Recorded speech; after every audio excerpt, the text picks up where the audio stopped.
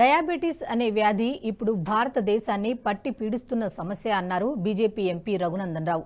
Diabetic పేషెంట్లలో ప్రపంచంలోనే భారత్ అగ్రస్థానంలో ఉందని వైద్య నిపుణులు చెబుతున్నారని ఈ పరిస్థితుల్లో మనల్ని మనం కాపాడుకోవాలంటే క్రీడలు అలవాటు చేసుకోవడం ఒక్కటే మార్గమన్నారు. శారీరకంగా మానసికంగా దృఢంగా ఉండాలంటే క్రీడలు చాలా ముఖ్యమని తెలిపారు. డయాబెటిక్ ఇండియాను హెల్దీ ఇండియాగా మార్చాలని పిలుపునిచ్చారు. ఇక మరోవైపు విద్యార్థులను మత్తు పదార్థాలకు ఎడిక్ట్ చేస్తున్నారని వాటికి దూరంగా ఉండాలన్నారు రఘునందన్. స్కూల్ పిల్లలకు చాక్లెట్లలో డ్రగ్స్ పెట్టి ఇస్తున్నారని వారి పట్ల అప్రమత్తంగా ఉండాలని సూచించారు. When you come back, we're gonna have. Alright, everyone, all 10k runners, దయచేసి ముందరికి రండి. మీరంతా క్రీడా అభిమానులు మీరంతా బాగుండాలని. మేము రన్ చేయగలుగుతాం రన్ చేస్తే ఆరోగ్యానికి మంచిదని శారీరక దృఢత్వానికి క్రీడలు తప్ప ఇంకొకటి దోహదం చేయని చాలా మంది చిన్నారులు మధ్య వయస్కులు పెద్దలు చాలా మంది ఇక్కడికి వచ్చేసారు. మీకు అందరికీ శుభాకాంక్షలు అభినందనలు. భారతదేశం ప్రపంచ దేశాల లోపల ఒక ఇబ్బందిని ఎదుర్కొంటా ఉంది.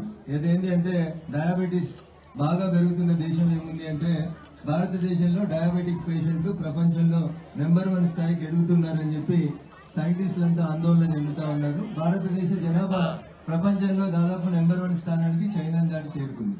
ఈ పరిస్థితులలో మనల్ని మనం రక్షించుకోవడానికి మన ముందున్నటువంటి ఒకే ఒక మార్గం క్రీడలు. ఆ క్రీడల్లో మనకు నచ్చినటువంటి క్రీడను ఎంచుకొని ఆ క్రీడలో సక్సెస్ అయ్యే రీతి లోపల మీరందరూ కూడా ముందుకు పోతే బాగుంటుంది. భావితరాలకి మార్గదర్శనంగా ఉంటే ముందు ఉంటుంది చాలా మంది సిక్స్టీ ఇయర్స్ క్రాస్ అయిన వాళ్ళు కూడా కనబడుతూ ఉన్నారు. మీకు అందరికీ కూడా ప్రత్యేకంగా అభినందనలు. పది పన్నెండు సంవత్సరాల చిన్నారులు కూడా ఉన్నారు. భావి భారత పౌరులు వీళ్ళంతా. వీళ్ళంతా శారీరకంగా శారీరకంగా మానసికంగా బాగుంటేనే దృఢంగా ఉంటేనే ఈ దేశం బాగుంటుంది. What Aristotle said a sound mind in sound body అని చెప్తాడు. ఆ సౌండ్ బాడీ రావాలంటే పొద్దున్న లేసే మారతానని చెప్పాను. Whatever the sport you like whatever the game you are interested be in the ground for at least one hour so that we can make healthy India diabetic ఇండియాని healthy ఇండియాగా మార్చాలంటే మీరు పొద్దున్న లేసి అందరు గ్రౌండ్లో గేమ్స్ అంటే కంప్యూటర్లకే పరిమితమై క్రికెట్ ఎట్లా ఆడతారంటే కంప్యూటర్లో ఆడేటువంటి స్థితిలోంచి తల్లిదండ్రులకి నా విజ్ఞప్తి పిల్లల్ని కొంచెం కంప్యూటర్లకి దూరంగా ఉంచండి. రాత్రి పన్నెండు గంటల దాకా ఒంటి గంట దాకా మేల్కతోటి ఉంచకండి దయచేసి.